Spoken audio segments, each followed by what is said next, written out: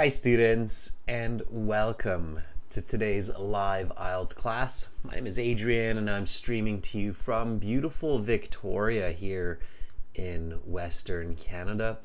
I hope that all of you are having a good week so far. Students, in this class we are looking at IELTS Task 1 Writing and uh, yesterday I asked uh, what kind of a task one for the academic would everybody like to see? It seemed that pie charts were the popular vote, so I decided to do another uh, pie chart for everybody today. And uh, the topic of this pie chart will be the ways that people go to work, like with a bus or car or on foot.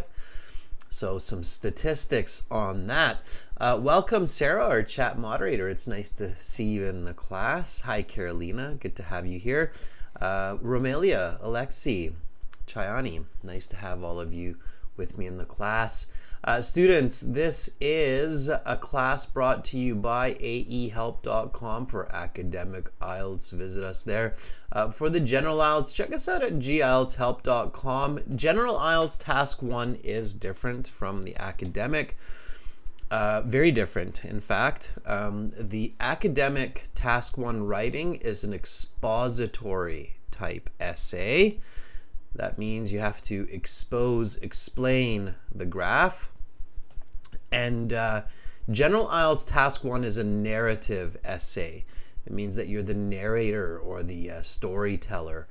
And uh, these are completely different essay styles, expository versus narrative. So make sure that you're studying the right one for your IELTS exam.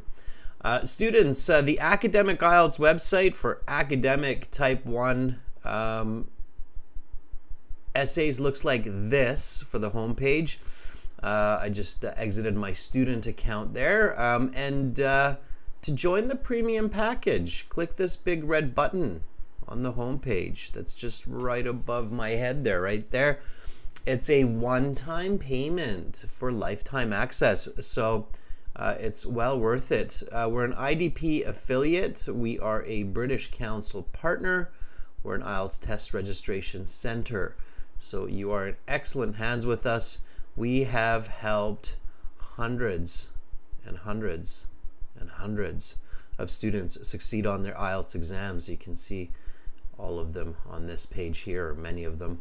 Um, and uh, yeah, students, uh, again, uh, during checkout, just uh, use that code that I've been giving you all week long, READ9, for a 10% discount on the premium IELTS package. Um, all right, uh, for general IELTS, for those of you who want to know some strategies, about uh, task one letter writing, email writing. Um, the website looks like this. And again, you can just click that big red button there to join the premium version of the IELTS course.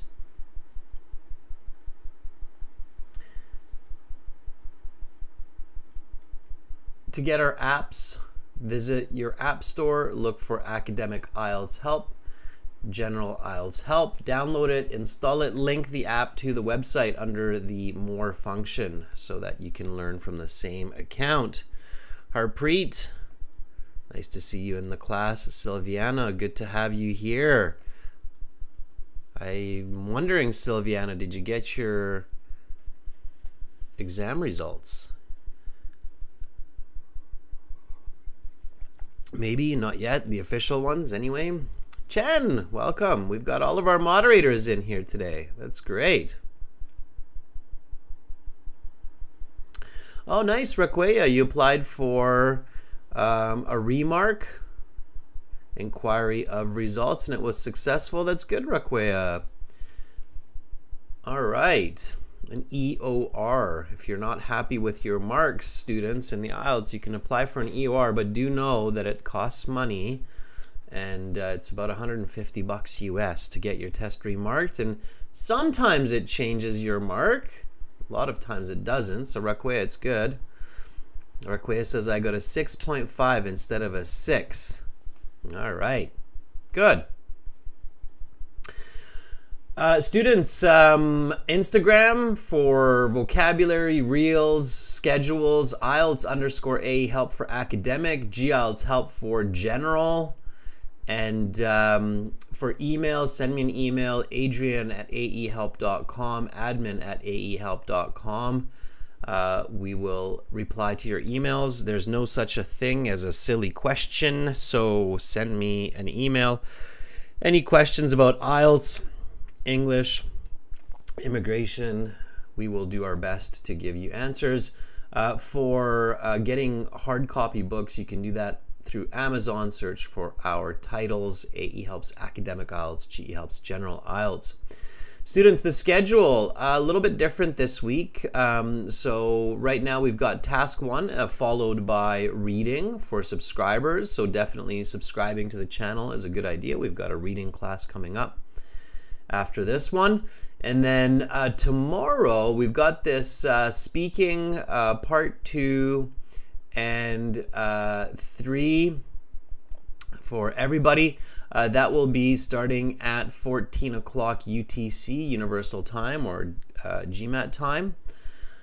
And we'll have a special guest for that class, a former examiner who was an IELTS uh, marker for the speaking and writing section for 10 years and worked with British Council on IELTS courses for five years. So lots of experience behind him.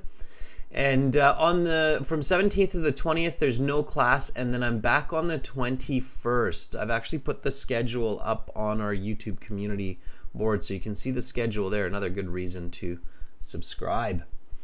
All right, uh, we're working on an exciting new release for you as well with a real Band 9 IELTS speaking candidate.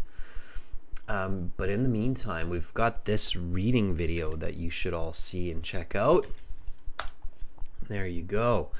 So have a look at that. All right, let's get into writing task one for the academic IELTS. Okay, this is for the academic uh, IELTS here. Artie decided to join us in our group of members. That's great, Artie. Welcome. Happy to have you on board. Make sure to send me an email so we can get you those exclusive videos. Okay, students, so um, IELTS writing task one. Uh, you have 20 minutes for this task. It's the first one in the writing. Definitely write task one first. It should be a little bit easier. It should kind of warm you up uh, for or get you ready for task two.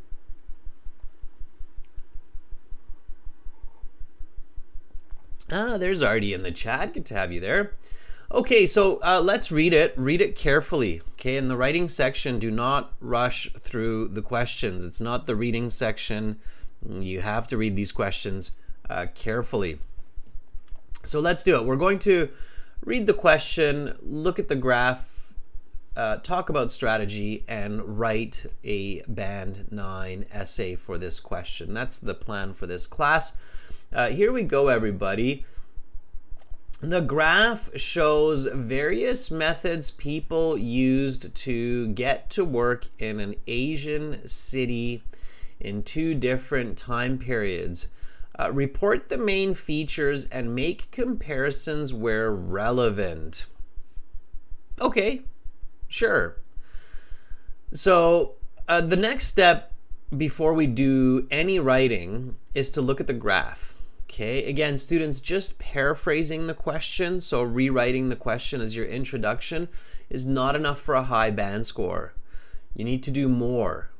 You need to paraphrase and give details, okay? So uh, for those of you who are a little bit new to the IELTS, IELTS academic uh, task one is an expository essay written in the third uh, person voice of the author. Okay, so no I, no you, no me.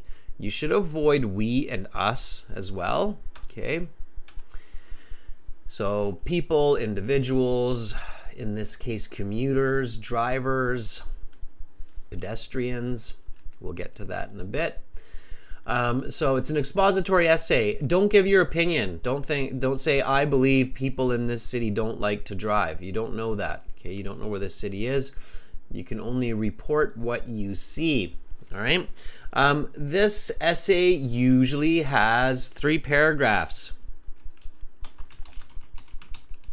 Okay, the introduction, the overview, and the analyses, which is the body paragraph. It's the bigger one.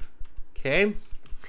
Um, introduction is, and that's what we're going to do right now.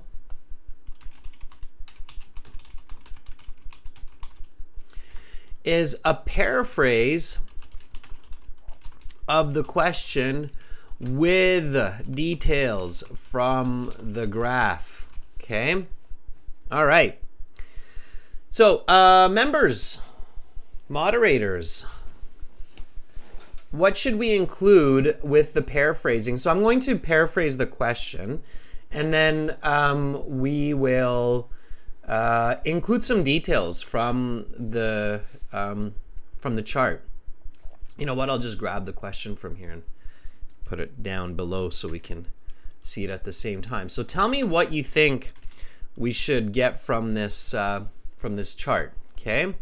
So here I'm going to paraphrase. Uh, this uh, chart uh, illustrates,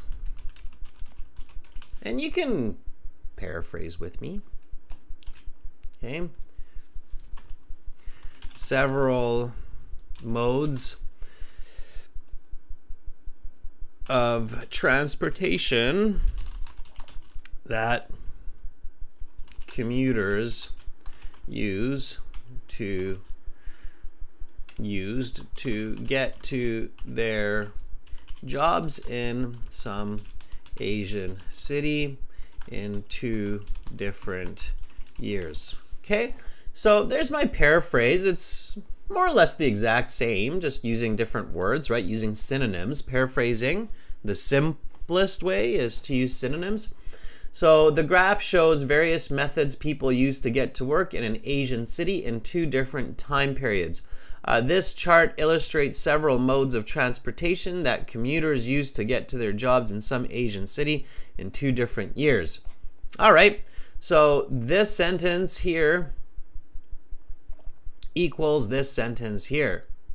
But is it good enough for a band 9? No, until this point here, this introduction is just a band 6. All I'm really doing is showing that I know other ways to say the same words, but I'm not showing thinking, okay? For band 9, especially in the academic, you have to keep in mind that you don't just show that you know English words, you have to show that you can think and um, work in English. Okay, so keep that in mind. For a band 7 to 9, you must not only show that you uh, have good vocabulary and grammar, but you must also show the examiner that you have um, an ability to do work in English. Okay? To think and calculate. All right? So, what else should I be including from this pie chart in my introduction? Okay. Romelia says the provided chart displays the transportation modes that individuals utilize to commute to work in an urban area of Asia during two different periods. Yeah, so Romelia, that would also be like a band 6 or 6.5. It's repeating the question, right? Um, Domenico says the chart illustrates the different modes of transportation that individuals employed to commute to their workplaces in Asian in an Asian city during two distinct time periods. Yes, almost Domenico, not Asian cities in an Asian city. It can only be one, right? Alexi says include the biggest part. No, Alexi. That would be either your overview or more your analyses when you get there. Yanni says the given pie charts present the various transportations that people used to reach the workplace in 1959. It's, yeah, one year off. And 2009 in an Asian city, one Asian city. Okay, Bogdan, very good. Bogdan says, why don't we tell the reader what those years actually are? And why don't we tell those methods of transportation? You're right. And Fuang says the same thing. Like, let's um let's do that. Okay. There's something else that's included. Who's really paying attention to this graph and chart? Remember, when you look at a graph and chart, you read it just like a page of text on paper. Okay. Left to right, top down, right? I've said this before a few times that uh, when you're looking at a chart, you want to read left to right and top to down to bottom. So if we're doing that, then of course we're reading the years, then we're looking at the charts and the legend. Okay, that's called a legend.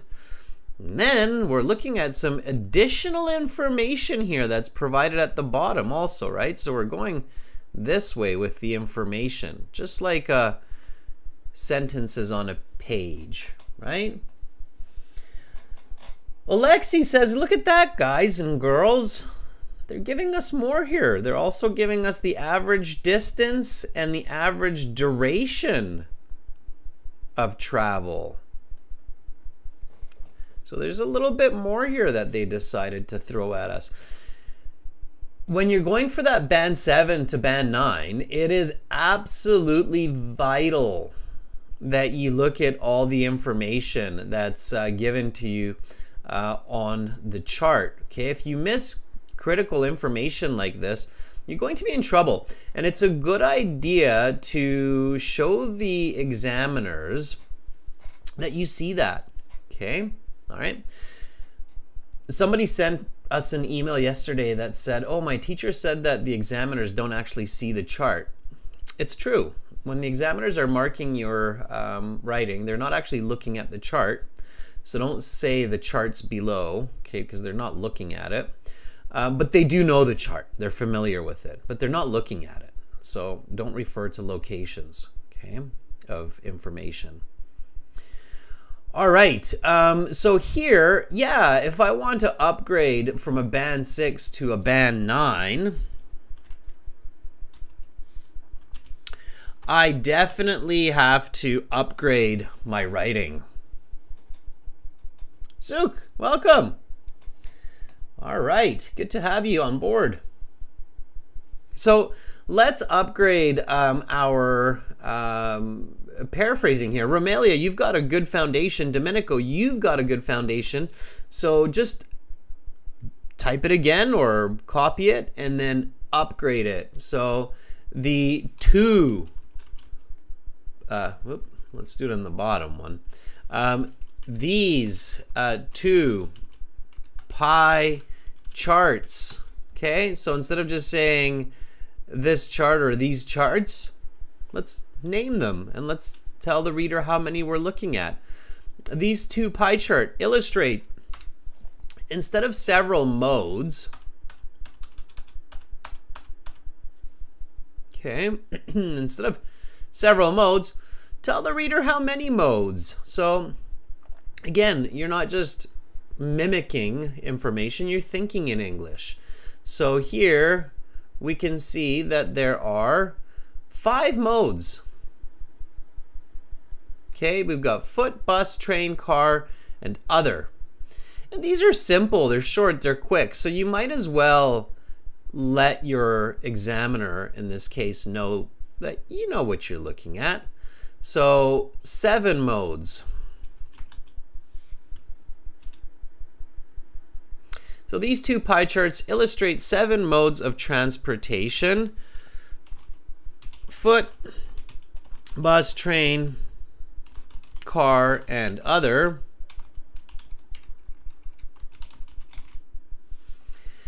that commuters use to get to their jobs in some Asian city in, and then instead of different years, I would say in 1959 and 2009. Okay? Now, as I'm writing that, so as I'm writing 1959 and 2009, I realize that the time difference between these two time periods is what is it? How can we say that? So when you have this 1959 to 2000 or and then uh, 2009, right? Because it's not two. We don't see all the years between. Okay. It is 50 years.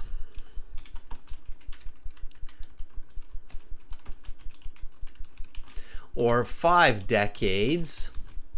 Yes. Or Nadi, exactly half a century. Mm-hmm.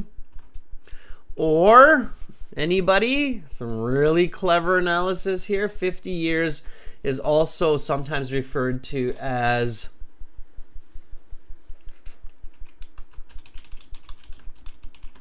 two generations later. A generation is roughly looked at as 25 to 30 years. Okay. So 50 years, um, I mean, these days, a lot of people, especially in the West, are um, waiting a little bit longer to build their families, but generally speaking, um, it's about two generations. It's not one generation, Fuang. 50 years is roughly two generations. So, two generations apart. Okay. All right. So, while you're writing, you're always thinking, you're always analyzing, and you should be seeing that as you're looking at this information. Now, you're not looking at any of the percentages just yet. That's going to be later on. That's the analysis, right? So, um, good. And then also, don't forget about that bottom piece, right? So, the average distance and the average duration. Okay, so uh, these two pie charts illustrate seven modes of transportation foot, bus, train. Uh, sorry, seven, five. Somebody correct me. Uh, five modes of transportation foot, bus, train, car, and other that commuters use to get to their jobs in some Asian city in two years 1959 and 2009.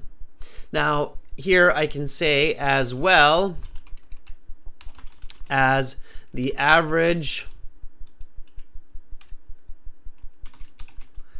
distance and duration of travel.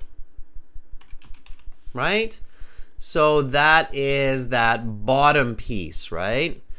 Now I have a band 7 to 9 introduction. Okay? Now it has that level of detail that the examiner is looking for. Examiners aren't too impressed if you just paraphrase the question because a lot of students do that and a lot of students can do that. That's just modest English, okay? So to write good to expert, you have to look at the graph, use those extra pieces of information. Everybody clear? Everybody good? Okay. Everybody's good about that? Uh, Artie, I don't see your introduction. I'm not sure if you wrote that before you became a member or what, but I don't see it. So if you've got an introduction, Artie, uh, put it in there. Okay. All right. Everybody's giving me thumbs up. Yeah. Um, now, Artie's saying 1959 to 2009. So is that correct, everybody? If I write this, and I wanted to actually show this, Artie, so I'm glad you put that in there. So if I write here, um, in some Asian city in two years, 1959 and 2009, if I write um, dot, dot, dot, uh, that commuters used to get to their jobs in uh, some Asian city in to um, Asian city from 1959 to 2009. Is this correct? This uh, way to finish the sentence. Okay, this is a very important point for many people. So Raquea says no. Chayani says no. Nadi says no. Why is it not? Okay, so why can I not use this 1959 uh, to 2009? Yeah, Dylan, exactly. It's not the time period. So we do not see all of the data for the years uh, between 1959 to 2009. It is the most common first mistake for IELTS candidates for the academic IELTS in task one with pie charts, okay? Is this mistake right here.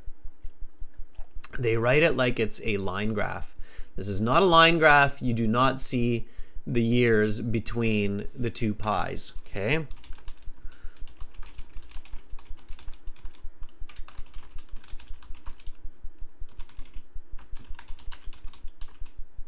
Okay. You cannot state continuity. So be very careful about that, Artie. It's the most common mistake. I see probably two out of every three academic IELTS candidates make this mistake. Um, and immediately the examiner's like, oh, it's not a band nine anymore, that's for sure. Okay. And then, uh, of course, many people continue writing as if it's a line graph. We can see the change from 1959. It gradually increased. And it's like, well, what do you see a gradual increase? You have no idea. Or gradually decreased, right? You have no idea about that, right? So that would be statistically very inaccurate. So, for example, just to emphasize this, we can see here that uh, foot commuters were more than half here, 55%. By 2009, it was a quarter, right? 25% on foot.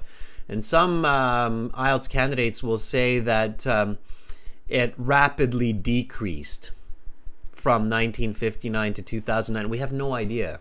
We have no idea about that decrease. It could have been like this on a line graph. It could have been uh, um, fluctuating. So we don't know. Okay. So be careful about that. It's a pie chart, not a line graph. They're not the same. They're not the same. Okay. Again, students, if you're confused about what is a line graph, what is a pie chart, what is a table, uh, go to your web account, log into your My Student account, click on your online course, click on writing section, uh, task one, part one, and then uh, jump to your uh, different types of task one and the reason for uh, those, right? So you will learn very quickly here that uh, line graphs are used to illustrate correlations between variables and to show change on these scales, okay? As where pie charts are used to show percentages of a whole within one time period, all right? So Line charts, bar graphs, pie charts are not the same. Okay, there's differences between them, and you cannot write the same about them. A lot of IELTS classes and IELTS teachers teach the students to write for line graphs, and then everybody writes as like like as if they're looking at a line graph for every question, which is not good. Okay, it's not good. So um, check out your course uh, and uh, make sure to go through those slides, if, especially if you didn't study this in school. Okay, uh, you will need it for university as well. So use that big red button and make that one-time payment to sign up for the premium course. It's worth it. Uh, all right, uh, so back to the point here with the line graph. Um, the next step, once I have this um, this introduction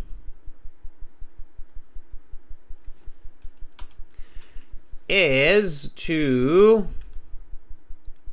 write the overview, right? What is the overview? Okay, so after you write the introduction, you write the overview.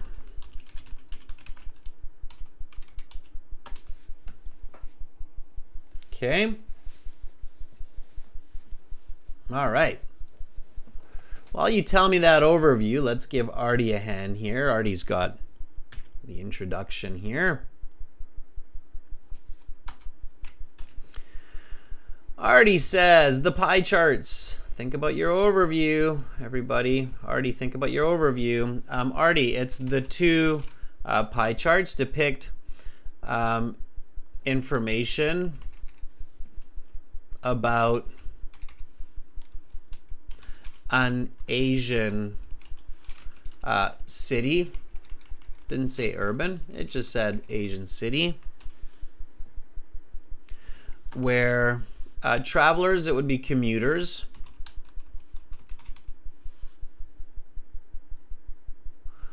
Went uh, to their workplace with five various kinds of transportation modes car, bus, train, uh, foot, and other. We don't use etc. in our writing, it's useless. In 1959 and 2009. Okay, so I upgraded your writing from a band 5 to a band 8. There were quite a few corrections there. So if I have 5, 6 corrections in one sentence like that, it's definitely closer to the band 5. So be careful with that. Okay. All right. Romelia has an overview for us. Let's check out Romelia's overview and we'll go from that. Okay. So the overview, everybody, are the main features. The, the, the, questions ask you for that. The question literally has like, give me an overview in there. Um, so when you look at the task two question and it says here, report the main features, that's basically the part that says, what's the overview? So give an overview, right? So report the main features. That's what it is. All right, you're very welcome, Artie Keep writing. It's the way we learn. Okay, um, so report the main features. Yes, so main features you should recognize, you should realize just by taking a glance at the pie charts. That's why a lot of the overviews start with at a glance or at first glance, okay? All right, um, what do we see at first glance? What do we see, right? Well, let's see what Romelia had for us, and then we'll see if we all agree with Romelia's first glance, okay? Um, so this is Romelia's overview here, I'm guessing. Correct me if I'm wrong, Romelia. Okay. Uh, so Romelia says, in the first time period, walking was the most prevalent method of commuting, pedestrians accounting for nearly 60% of all journeys to work. Romelia, too much detail, okay? Um, in the overview, do not provide percentages and don't just look at most and least, okay? So uh, for a band 9 uh, overview, look beyond most and least. A lot of students go the most and the least, and yes, it's okay, but you want more than that. If you're going to be a band 9, you have to show that you can go above and beyond the average, okay?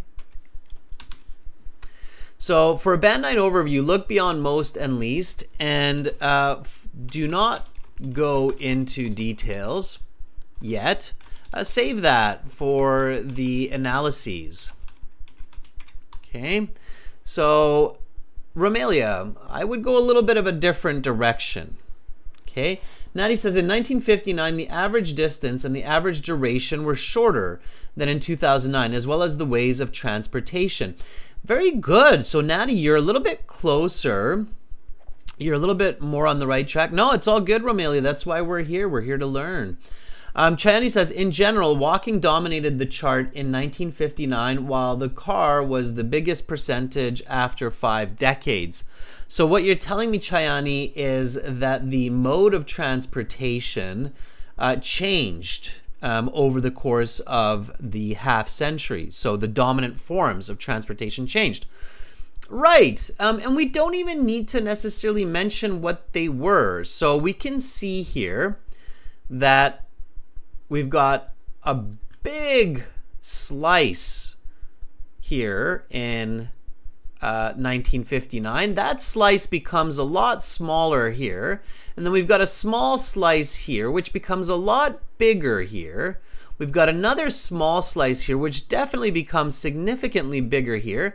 And then we've got the, um, the green and the red slice here, which kind of stay the same, right?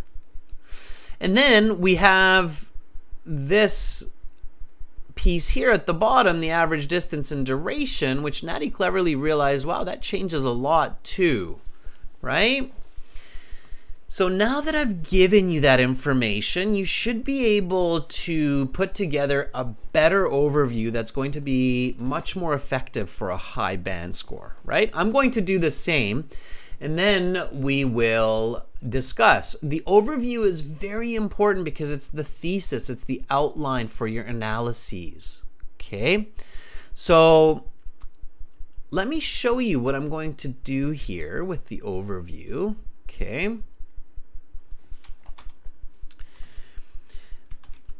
Upon initial observation, because that's what I did. I didn't just take a glance here. I actually did a bit of observing, right? So it's my initial observation, okay?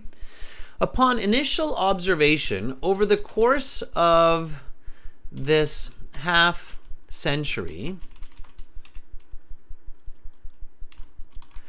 certain forms of commute um, changed dramatically while 2 remained the same.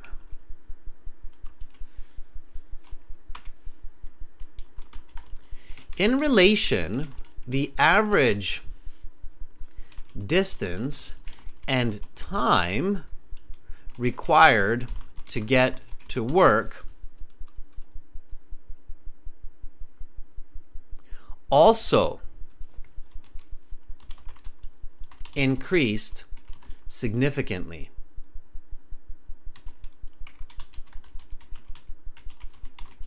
Okay, so there is my overview. And now, if you can't do it in one sentence, because this, I realize this is quite a complex sentence and I'm using quite a range of vocabulary here, but if you can't do it in one sentence like this, it's fine. You can do it in two sentences. You can use simpler vocabulary. What's most important is that you deliver this information. Okay? All right? So, upon initial observation, over the course of this half century, certain forms of commute changed dramatically while two remain the same. In relation to the average distance and time required to get to work, in relation, the average distance and time required to get to work also increased significantly. Okay, the in relation, you notice that I'm using this semicolon and this comma, it's very important. It's basically saying in connection to the concept of changing modes of transportation, right? Okay, so is everybody clear on this overview and why I'm writing this overview? So notice that I'm not just writing most and least, but I'm more interested in the changes that are happening. Because yes, I agree that, you know, we can see this big uh, change here with foot traffic. But if I focus on that, then I might lose the attention on the uh, car traffic, which is also quite drastic or dramatic, right? So instead of just mentioning one or the other, what I decide to do is just tell the reader that there are a couple of uh, dramatic changes. There, give you a smiley face, okay, um, with a mask. All right, so is that clear? Okay, and you have 20 minutes. It is enough time. As long as you practice at home and you pay attention and you're thinking critically, you can do this. You can recognize that, oh, yeah, okay, there's quite a bit of movement here with these three. And then with these three, they're or these two, they're kind of the same. So let's discuss that in a logical pattern. We can see that there's quite a bit of difference here and here. So let's discuss that in a logical pattern, right? Mal says that's clear. Raquel says overall the highest mode of transportation in 1959 was foot. However, in 2009 it changed by car. Additionally, average distance and duration rose up over the five decades. So Raquel, again, that's the simpler overview, right? So your overview is already targeting the specific changes, and because of that, it's missing certain elements. So, for example, it's missing that the other modes of transportation, maybe like e-bikes or e-scooters, um, they also changed a lot, right? So the other modes of transportation more more than doubled uh, in those years. So obviously, some other forms of transportation likely appeared. Okay, right. So Raquel, it's okay. It's about a band six to seven, but it's losing a little bit of the overall right? So your overview, if you think about it this way, your perfect overview should not miss any part of the chart. So Raquel, if you're looking at your overview, the reason it's not a band 8 or 9 is because it's missing certain parts of these pie charts, like it's missing the train and the bus, which didn't change. It's missing the other, which changed quite a bit. Okay, so if your overview misses elements of the graphs, tables, charts, then it's not a great overview. It's an okay overview at best.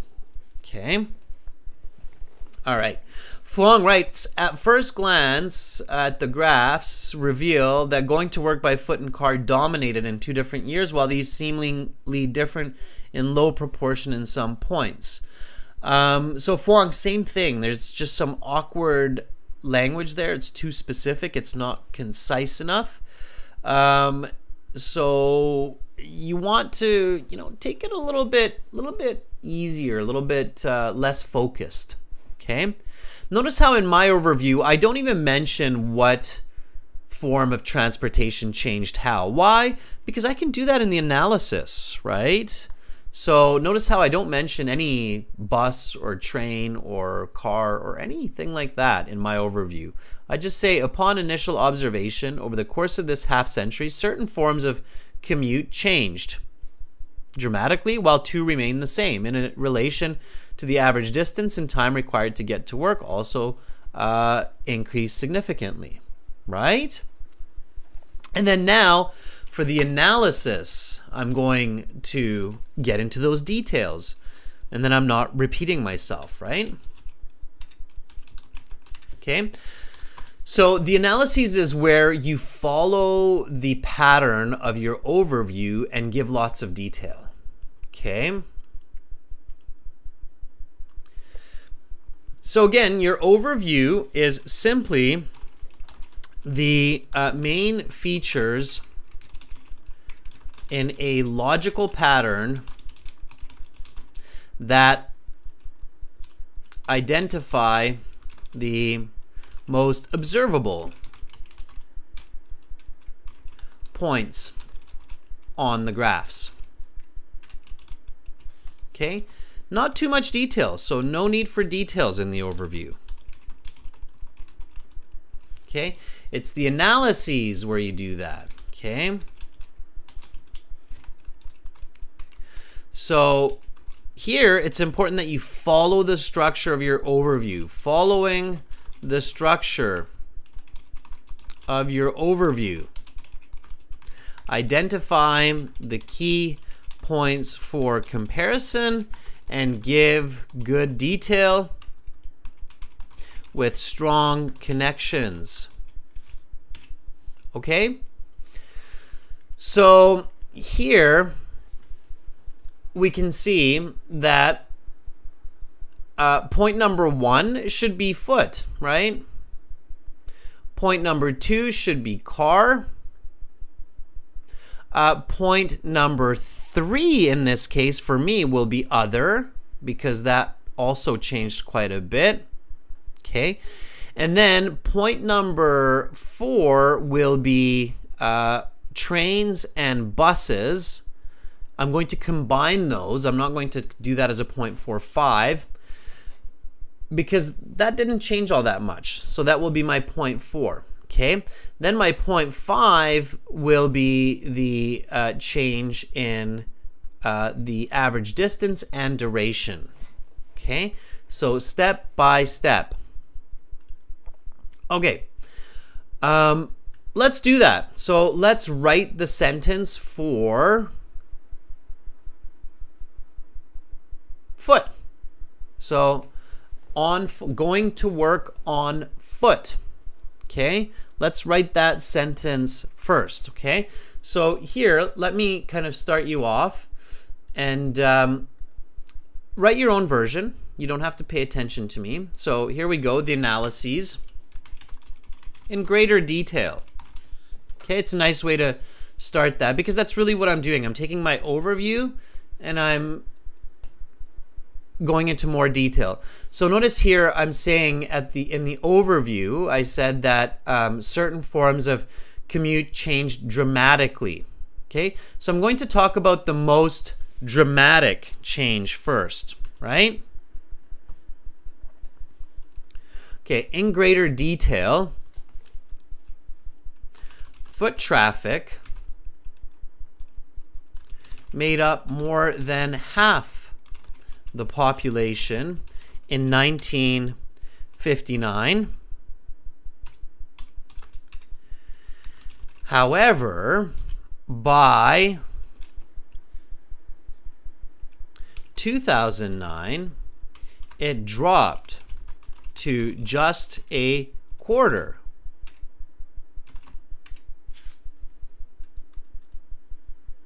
which means it changed from the most to the second most popular way to commute, right? So, uh, in greater detail, foot traffic made up more than half the population, right? And it's more than half, it's 5% more. So I don't just say 55%, and I don't just say 25%, but I actually use words, right? So, in greater detail, foot traffic made up more than half the population in 1959. However, by 2009, it dropped to just a quarter, uh, falling from um, first to second place in popularity. Okay? Because that's what it did. It was the most popular, and it became the second most popular. So it fell from first to second place in popularity. Notice that interesting phrase, okay? All right, and it's continuous because it happened continuously over that period at some point. We don't know how fast or how slow or fluctuating, but it fell from first to second. Okay? All right. So far, so good. So that's point one. All right. Uh, Domenico writes overall, the method of transportation, such as walking, was more prevalent in 1959 but gradually decreased. Um, Domenico, you don't know that if it gradually decreased. It might have decreased suddenly. So, Domenico, be very careful. This is what I mean. It's not a line graph. So, Domenico, if this were a line graph and it looked like this, and the year 1959 was here, or we're here, and this was 2009. Okay. Um, we don't know if walking changed like this in popularity. It gradually went from 50% to a quarter. Okay. Or maybe it went like this, Domenico. We don't know that. We don't have the line graph to show it. So maybe it went like this. Okay? We have no idea. So you can't tell your reader that because it's misinformation. And boy, are we not happy with all the misinformation in the world today. So we have to have integrity. We have to be careful with data, right? We can't have misinformation. Right? It's very dangerous, especially in academia, right? We get enough of that in politics. Um, so, so careful with that, okay? Raquea says, in greater detail, commuters who traveled by foot was 55%. However, it decreased dramatically to 25%. Yeah, and you know, Raquea, using percentages sometimes is okay. You don't have to never use percentages, right? So it's fine. Um, Bogdan says, in 1959, most people preferred commuting to work on foot. Um, you know, Yeah, okay, at 55%. However, this proportion decreased dramatically to one quarter in 2009, becoming the second most popular method. Yeah. Um, and I would, instead of becoming the second most popular method, Bogdan, I would say uh, falling to the second most. So we know that it, it fell to second most. Okay, good.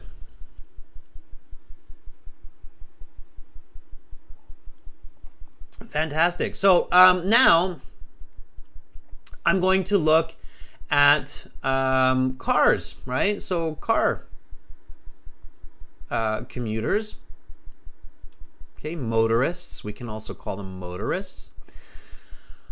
What would be a good way? So we can see that here in 1959, motorists make up 10%, and here, motorists make up 35%.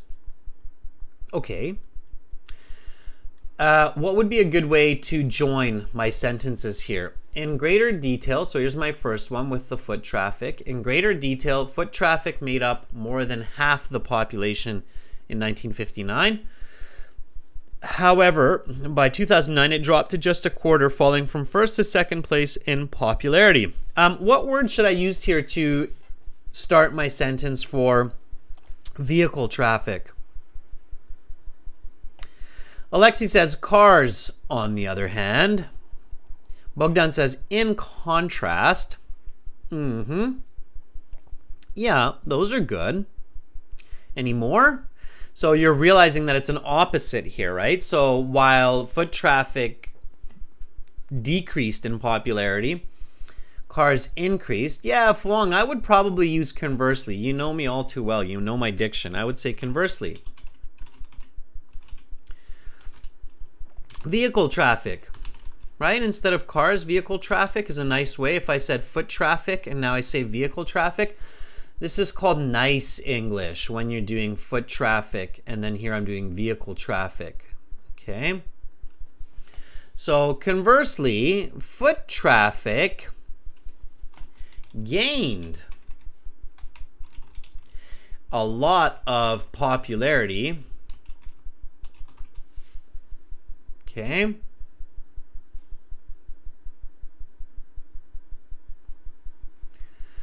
So foot traffic gained a lot of uh, popularity. From what time to what time? Okay. How would you actually say 1959? if we really want to impress the examiner, as a lot of IELTS YouTubers like to say, if we really want to impress the examiner, what would we what could we refer to as 1959? 1959 is what part of history? Natty, you're on the right track. It's 20th century. What part of the 20th century? So be a little bit more specific, Natty, but you're you're on the right track. Okay. Natty has it the closest, but it's just a little bit off. I'd like to see a little bit more English there. A little bit more specific, Natty. Fuang mid is the word I'm looking for, just not mid 90s, because it's not mid 90s, right? It's the mid 20th century. Yes, Suk, exactly. Middle. Just watch your spelling. Okay? So it's the mid 20th century, and this is the. What's this? It's not the 60s. Thank you, Carolina. Yes, it's mid 20th century. Very good. Okay. Um, that's right. Carolina's got the right answer there, everybody. Mid 20th century. And this is early, not early 20, Raquea. It's the early 21st century is okay, or beginning of the millennium. Yes, Natty, that's a nice way to say it. Or beginning of the 21st century, right? Start of the 21st century. So again, use that good English, right? To impress the examiner. That's what they're looking for when they're looking for Band 8, Band 9. So conversely, vehicle traffic gained a lot of popularity at the um, or from gained a lot of popularity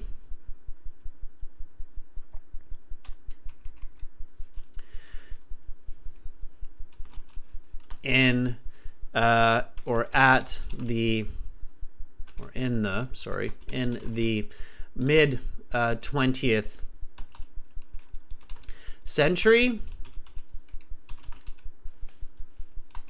it accounted for uh, one tenth of commuters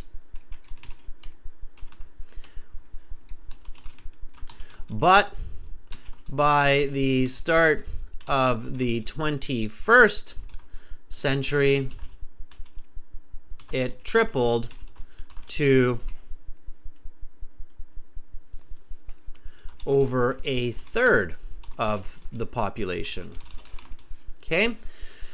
So here we go. Conversely, vehicle traffic gained a lot of popularity and then comma. I'm using the comma here as a definitive clause. So it means that this phrase defines this concept of popularity. Okay? So conversely, vehicle traffic gained a lot of popularity. In the mid 20th century, it accounted for one tenth of commuters. Accounted for means made up, or that was the total number. Okay, and we can see that because here you notice that it's 10%, right? Here it's 35%, so it's times 3, which is triple. Okay. And again, when you practice this, you can do this quickly. All right. So, uh, but by the start of the 21st century, which is 2009, it tripled to over a third of the population. Okay. Band 7, Band 8, Band 9, the IELTS examiners are looking for interpretation of data, not just simple reporting of data, but interpretation of data. Okay, everybody got that? In the first decade of the 21st century, Suk, 21st, uh, not 21st, uh, 21st, ST, um, it's a little bit too much detail, Suk, so you don't need to go into that much detail. Carolina's like, I got it. Awesome, Carolina. Um, so in greater detail, foot traffic made up more than half the population in 1959. However, by 2009, it dropped to just a quarter, falling from first to second place in popularity. Conversely, vehicle traffic gained a lot of popularity. In the mid 20th century, it accounted for one tenth of commuters, but by the start of the 21st century, it tripled to over a third of the population, making it the most popular method of getting to the job.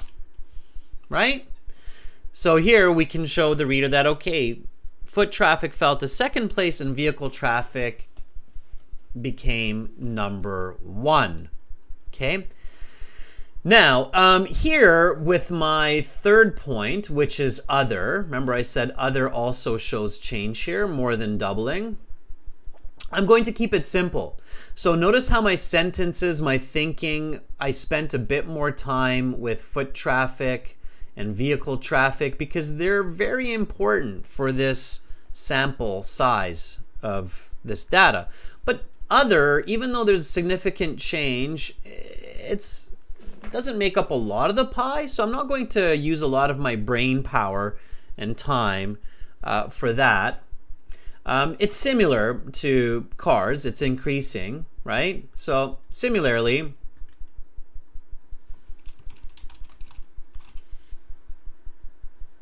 Okay, so that's my joining word here. Similarly, other modes of transportation also doubled proportionally because we don't know the numbers here, right? The city could have gone from 2 million people to 4 million people. So we don't know the numbers. So it's all proportions or percentages, right? So similarly, other modes of transportation also uh, doubled uh, over the course of five decades. Uh, from 5% uh, to 12%.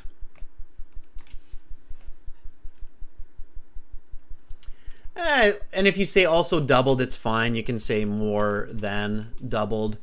Um, especially when you give the percentages. It's okay. Either way is fine. So similarly, other modes of transportation also more than doubled over the course of the five decades, comma, definitive clause from 5 to 12%. The from 5 to 12 the, the, from 5 to 12% defines the more than doubled. Okay? Alexi writes, vehicles, on the other hand, have got popular um, among citizens of the city, and the percentage of using has decreased approximately three times and became the main or increased approximately uh, in three times and became the main method of commuting. Alexi, a little bit of grammatical correction is needed there. Okay. All right. Good. Now I will use on the other hand, right? Because on the other hand, I can join the uh, bus, train, right? There's not really a lot of change there. So buses lose a couple percent, couple points, but really we're just not really changing much here, right? So buses and trains together make up about one third, right? So if we add those two up, it's about 30%. So what is that? It's like a, it's a little less than a third, right? So the proportion of buses and trains, right? Okay, so here, all we do is, for the next point, on the other hand, and it's not a new paragraph, it's just one. We're looking at commuters in two years, so we don't have a different graph or a table. We're not looking at a bar graph suddenly. We're not looking at um, uh, people's breakfast before they go to work. So it's not a different topic here. We don't need a different paragraph. So simply on the other hand, the proportion or the proportions of bus and uh, train passengers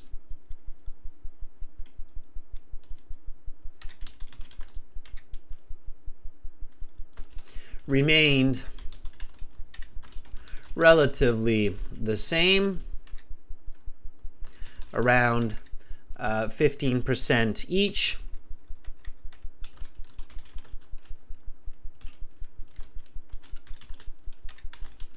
making up uh, just under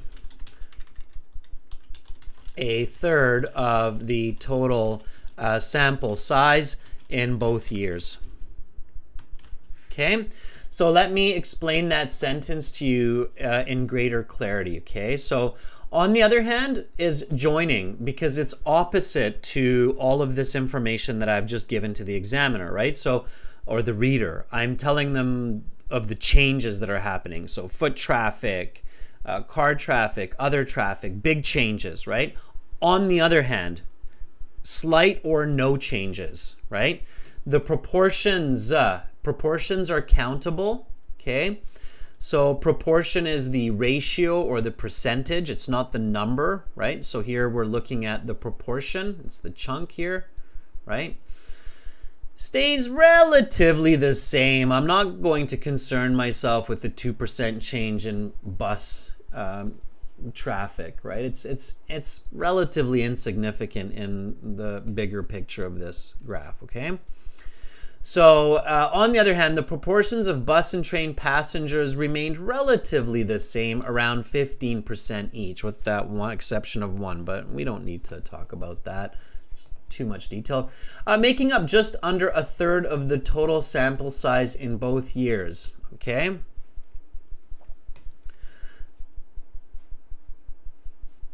Right? That makes sense so far? Everybody's good? I haven't lost uh, anybody yet in the Okay, and notice again, uh, everybody, viewers, members, that um, my analyses are following my overview. So my overview, first I talked about the forms that changed dramatically. Now I'm talking about the two that remain the same. Okay, that's my, those were the bus and the, um, the train, right? Everybody following with me? Yes? Okay, Alexi says, yeah, it makes sense. Am I done? Okay. All right.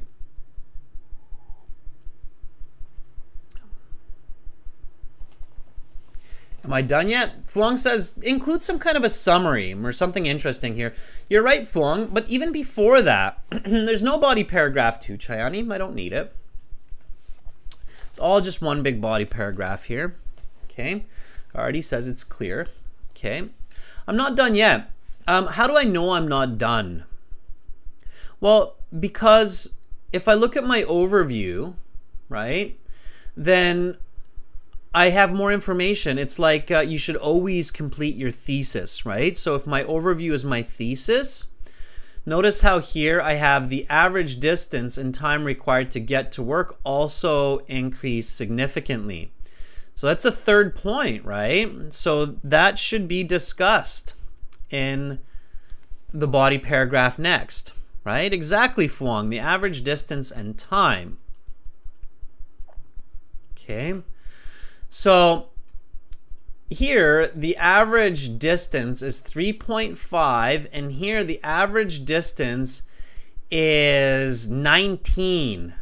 What's the difference between 3.5 kilometers and 19 kilometers? So how would you logically say that? Yeah, so Alexi says, hey, pay attention.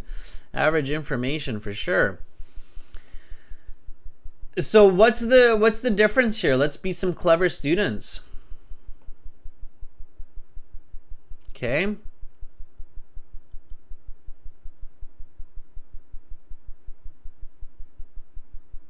Uh, Suk, you've got a lot of grammatical and language use mistakes in that sentence there, so you need to rewrite that, okay? So it's easier to comprehend. Uh, don't try to be really fancy, try to state it in a simple way. Okay. Romelia says it's six times. I would go five times, Romelia. Six times. You're over. You're over gauging it. Six times would be 21 kilometers, right? So three plus 18, 21. Um, five would be under, under a little bit. It would be um, 17.5. A little more than five times, right? I would say. Yeah, a little more than five times. Okay. So that's significant, right? So I would definitely describe that as five times. Okay. Notably, let's do it, right? So notably, the distance, the average distance uh, what's another way to say average, by the way, uh, students? There are different ways to say it in, uh, in English. Uh, if you're thinking statistics, um, there's a very common word that's used in statistics for the word average. Anybody know what that is? Yeah, Domenico, very good. It's the mean. The mean distance um, from home to work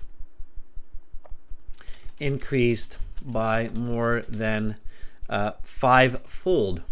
Instead of five times, you can use the word fold. By more than five-fold uh, from 3.5 to 19 kilometers. Okay, and don't write the word kilometers, use abbreviations where you can. Okay. Oh, one word, never knew.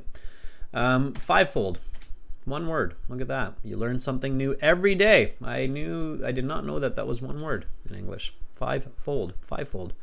Okay, um, so notably, the mean distance from home to work increased by more than five-fold from 3.5 to 19 kilometers. And the time required uh, 17 to 42 how much is that? Everybody quick math. So IELTS, in the listening, in the reading, in the writing, there are places where you might have to use a little bit of quick math. Yeah, Fuang, very good. Tripled. Um, more than tripled. Not almost tripled, Nadi. Um, just over, right? 3 times 17 is uh, 41. Okay? Or no, sorry. Uh, 30, that's 51. So less than tripled, right? So 3 times 10, 30. 3 times 7, 21. That would be 51. Okay? So more than doubled. More than doubled. Everybody, more than doubled, not tripled right? Where's we're we're all we're all in English. We're not in math class. Alexi says my math skills are awful. It shouldn't be that awful though. Carolina says yes, less than tripled. Simple math, right? We're only working with double digits here, everybody. Our math teachers are crying right now. Um, so slightly more than doubled, right? So two times uh, 17 is uh, 34. okay. Uh, so more than doubled. Okay, and the time required uh, more than doubled. Okay. So what can we infer? In summary, it can be inferred. Now, inferred is not a guess. It's not an opinion. It's an educated observation based on information. So based on all of this information, and here we're going for that absolute band 9, everybody.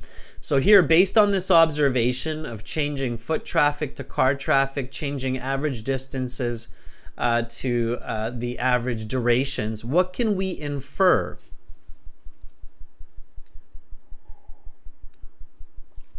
What can we infer. Alexi, no, you cannot bring a calculator with you to the test. And I'm pretty sure the examiners would be disappointed if you were trying to type in 42 divided by 17 into your calculator. Okay.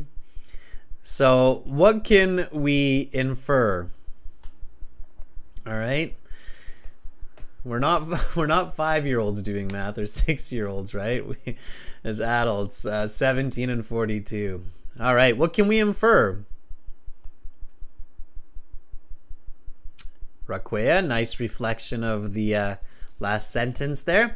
Well, we can infer that greater distances demanded faster modes of transportation, right? So, I mean, it makes sense that when your work is 3.5 kilometers, people are likely walking to work a lot more. When the average distance of work is 19 kilometers, then people are going to be driving more often, right? So that's what we can infer.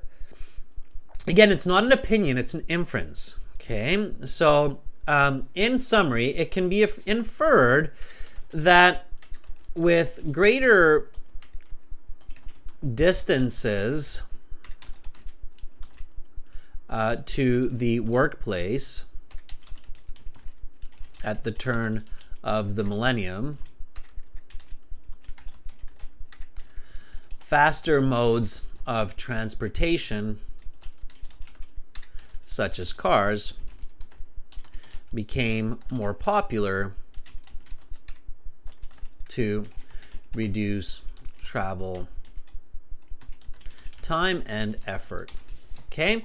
Now, that's not an opinion. That we can actually infer from the data, right? So we can see that the distance changes quite a bit. So it makes sense that it's likely a big cause of this shift in the amount of people driving cars, right? Okay. All one sentence. So take a look at the full essay, okay? And you'll see it makes sense. It's band nine, okay? Here we go. So uh, here's the original question again. All right. The graph shows various methods people use to get to work in an Asian city in two different time periods. Report the main features and make comparisons where relevant.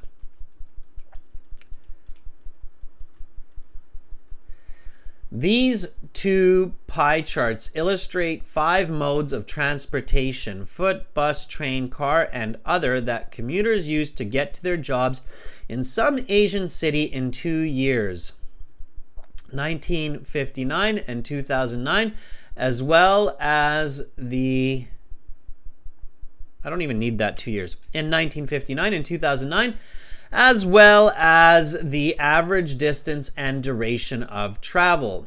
Upon initial observation over the course of this half century, certain forms of commute changed dramatically, while two remain the same. In relation, the average distance and time required to get to work also increased significantly. In greater detail, foot traffic made up more than half the population in 1959. However, by 2009, it dropped to just a quarter, falling from first to second place in popularity. Conversely, vehicle traffic gained a lot of popularity. In the mid 20th century, it accounted for one tenth of commuters. But by the start of the 21st century, it tripled to over a third of the population, making it the most popular method of getting to the job. Similarly, other modes of transportation also more than doubled over the course of five decades, from 5 to 12 percent. On the other hand, the proportions of bus and train passengers remained relatively the same, around 15% each, making up just under a third of the total sample size in both years. Notably, the mean distance from home to work increased by more than fivefold from 3.5 to 19 kilometers, and the time required more than doubled. In summary, it can be inferred that with greater distance to the workplace at the turn of the millennium, faster modes of transportation, such as cars, became more popular to reduce travel time and effort. Okay? Does that make sense? The flow, the connection, the funnel, right? It's a funnel. So introduction gives an idea, overview gives the approach, analysis gives the details. It's like a funnel that you boil, boil, boil down to create interpretation and clarity. So you're not just reporting again, but you're interpreting for a band 9. Okay? Everybody is clear on that? There's no other parts. It's just these three parts, okay? So your goal is to put your reader in a funnel of clarity from giving an idea to interpreting the information in a logical pattern. Okay? All right. Fong says, yes, it does. Chen says, bravo. All right, so that's what you want to practice, students. And again, uh, keep in mind that on the website, you have a lot of uh, places to practice this. So make sure to join our premium IELTS package by clicking that big uh, red button there. And uh, you're good. You're off to the races. Okay, so for general IELTS, make sure you're practicing general IELTS task one and to see those videos and those lessons, um, again, just sign up for our premium IELTS package here by clicking this big red button. Okay. You can send us your task one, task two essays to get a free band score estimate. All you have to do is send your task one, task two essay to either of these emails and we will give you a free estimate of your band score based on your writing. Okay, we do that for free. Members, thank you very much. New members, Artie, thank you for joining. Thank you, members, for jumping in and uh, having some fun with me. I hope you stay here for the next class. We've got uh, reading coming up after this class um, and that'll be kind of a fun reading topic for everybody, some cultural learning. Uh, so again, um, aehelp.com for academic IELTS, uh, gieltshelp.com for general. Thank you for all of our moderators who are here today. Chen, Carolina, Sarah. I'm not sure if Sarah is still here with us, but uh, it was great to have all the moderators in the class. That was fantastic. And I hope to see you back here in 30 minutes or so, a little bit more, uh, for uh, reading reading. So come back, join me for that. I'm Adrian. I'm signing out from Victoria, and uh, I will be back in half an hour. Bye for now, everybody.